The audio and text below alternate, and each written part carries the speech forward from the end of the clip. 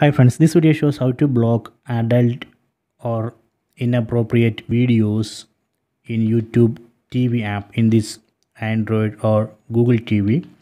So first let me open YouTube TV app.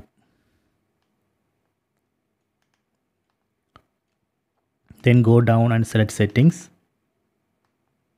Then select restricted mode. So what is restricted mode?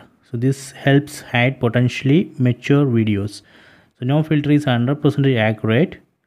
This setting setting only applies to this app on this device. Okay. So we can enable this option restricted mode that way we can block adult video or inappropriate videos. So right now it's on. So if you want to turn off you can turn off select off. So now it's off. So if you want to turn on select on. So this way we can turn off or on restrict restricted mode. So that way we can block uh, adult or in inappropriate videos. Okay so please try this